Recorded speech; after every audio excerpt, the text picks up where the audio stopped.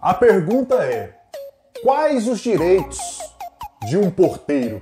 É sobre esse assunto que nós vamos tratar nesse vídeo. Fique comigo até o final. Vamos lá!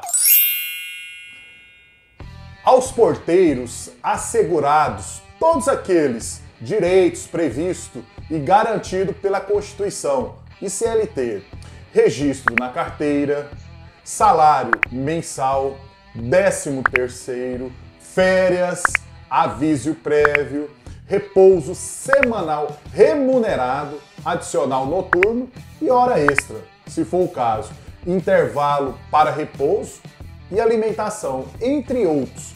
Esses são alguns dos direitos já garantidos na área de portaria. Certinho?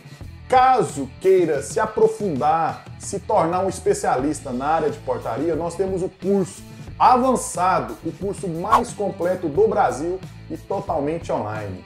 Você pode fazer e dar início nesse exato momento. Dá uma olhadinha aqui embaixo no nosso site e você vai se inteirar de todos os outros assuntos.